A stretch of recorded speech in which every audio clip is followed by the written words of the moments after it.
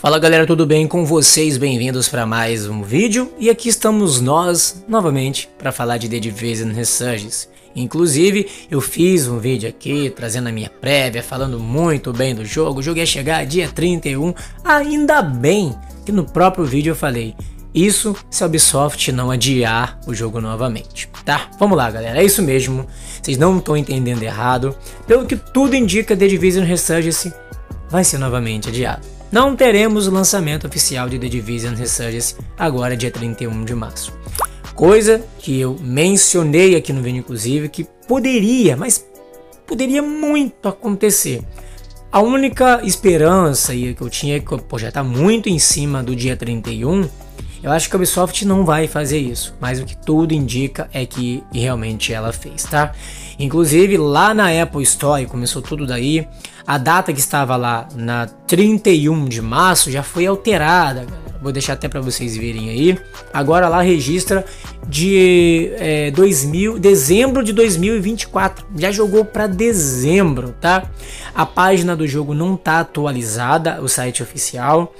Mas, assim como foi os rumores da, da, da, última vez, no final de 2023, quando falaram o jogo chegar no outono de 2024 e aquela data 31 aparecia na Apple Store, aquilo ali é uma atualização que ela reflete muito do que vai de fato acontecer.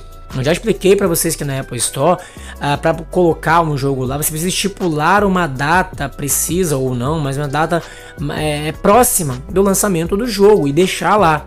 E isso é o que estava acontecendo com The Division Restantes, agora já foi alterado, já consta para final de 2024.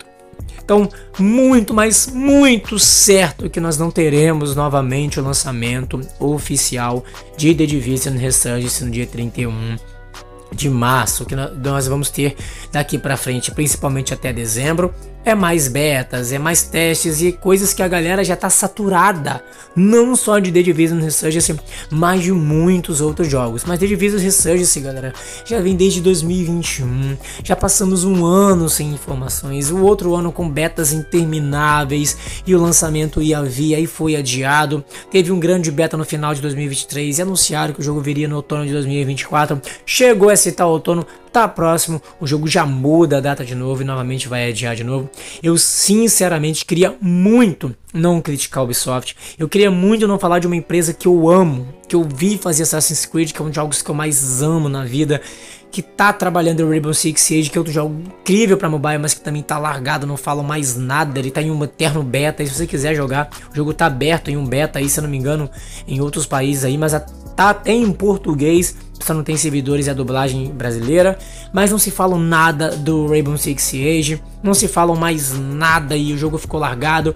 E agora a esperança, a expectativa do lançamento de The Division Resurgence dia 31, mais uma vez, parece que está indo de ralo por água abaixo e mostra de fato o quanto a Ubisoft brinca, brinca, ela brinca com a cara das pessoas, ela brinca com a cara dos seus jogadores, ela não tá nem aí, ela tá cagando para as pessoas. Só que a comunidade mobile acaba sofrendo ainda mais, porque ela tem que aceitar, porque é The Division, porque é um jogo AAA, é um jogo que está chegando para ser um dos melhores mobile. Sim, não estou falando do jogo aqui. Só que aí parece que, ah, como é mobile, a gente faz o que a gente quer. A gente não vai sob pressão de mídia, porque não tem pressão de mídia pro The Division Resurgence lançar. Não tem mídia pressionando. Quando vier é lucro, não. Se The Division Resurgence aí é lucro para plataforma móvel. É um jogo de console PC que está chegando para plataforma móvel. É lucro quando ele chegar. Vamos fazer o que a gente quiser. E é isso que a Ubisoft vem feito. É isso que a Ubisoft vem fazendo com The Division Resurgence. Vem brincando com a cara dos jogadores mobile. Aí eles lançam a beta lá, vem todo mundo. Mais uma beta do melhor jogo mobile. Olha que jogo incrível. Olha essa jogabilidade. E ninguém mais fica tocando no assunto de quanto a Ubisoft está sendo babaca com a cara de todo mundo. O quanto ela está sendo ridícula. O quanto ela está brincando com a cara da plataforma móvel.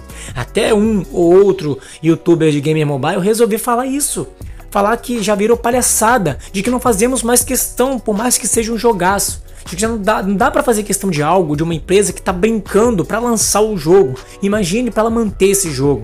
Imagine para ela fazer as atualizações, para ela trazer algo legal dentro do jogo, para ela não tornar um jogo um pay to win, para ela não tornar um jogo uma bagunça, uma zona. vai ser difícil. Se para lançar o jogo é uma bagunça interminável, não tem uma informação concreta, não tem nada que diz se vai ser, se não vai ser, se a dia joga uma coisa ali, muda uma data aqui, eles sabem que não vai lançar. Tá cagando para falar com a galera, porque não chegou em janeiro e falou vai ter adiamento, vai novamente, interessa o que for, mas não. A Ubisoft caga na boca de quem joga jogos mobile, de quem está esperando o Divisa Resurgence.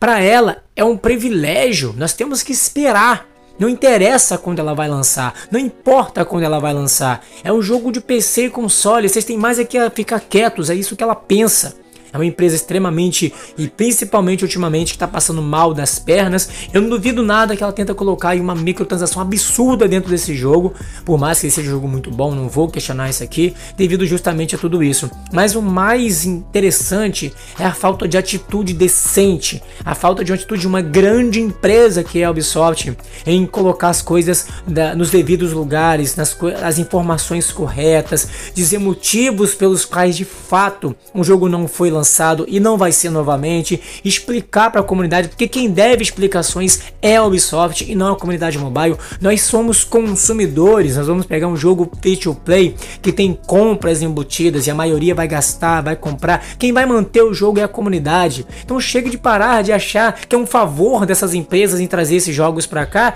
e levar 3, 4 anos brincando com a cara da comunidade e nunca lança. E a gente fica aceitando qualquer betazinha, qualquer coisinha falando que o jogo é o máximo. Tá na hora de disso acabar.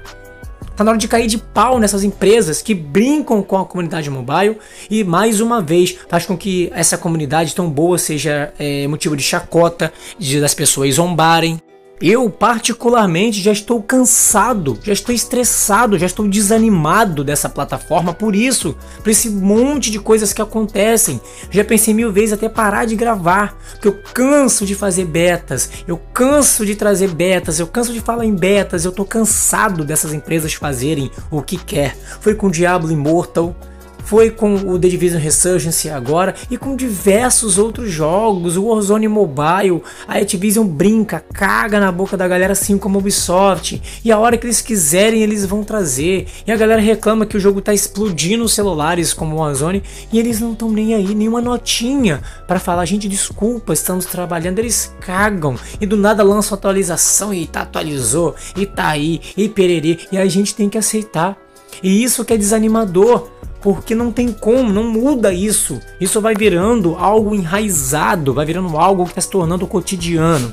E quando nós, como plataforma mobile, como seres humanos, a nossa vida, passamos a normalizar algo que não é normal, que não é bom, realmente fica difícil, é uma situação muito complicada. E hoje já normalizamos isso. Um game leva dois, três anos para lançar e com intermináveis betas e promessas e anúncios e adiamentos que nem são explicados, do nada adiou. Não tem notas oficiais, não tem comunicado, não tem nada. Faça isso no console, faça isso no PC para ver se a comunidade não briga, não bate de frente, não derruba, como foi com The Day Before, como foi com a própria Ubisoft, que empurrou a microtransação no, no seu jogo lá, esqueci o nome do jogo agora, empurrou a microtransação no jogo que já custava quase 400 reais, a galera derrubou o jogo. Mas a comunidade mobile não, ela aceita, como se fossem migalhas, tá? Ela vive de migalhas essas grandes empresas. Nossa, The Division, nossa, Ubisoft, no, não, a beta, mas vamos jogar essa beta, tá incrível! O título dos vídeos sempre são assim: novo jogo incrível, milésima beta, tá maravilhoso. Tá na hora de começar a mudar. Tá na hora de começar a desabafar como eu tô desabafando e dizer que eu não aguento mais trazer mais uma beta. Se de vez o restante você lançar uma outra beta, eu não vou trazer. Eu não vou falar. Aliás, eu posso trazer uma lista e falar, gente, de vez eu sair aí uma beta, baixem lá. Eu tô cansado de trazer. Vamos lá, conferir. Primeiras impressões. Que primeira de quê, mano? De quê? Já, o jogo já tá na minha, já tá na mente, tá enraizado, já sei o que que é, não tem mais o que falar em beta assim mais nada. Não tem mais o que falar, mano.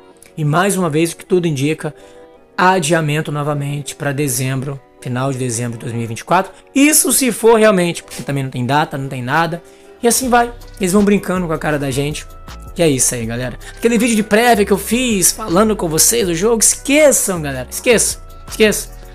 Infelizmente, essa é a realidade dessas grandes empresas como tratam a plataforma mobile hoje em dia.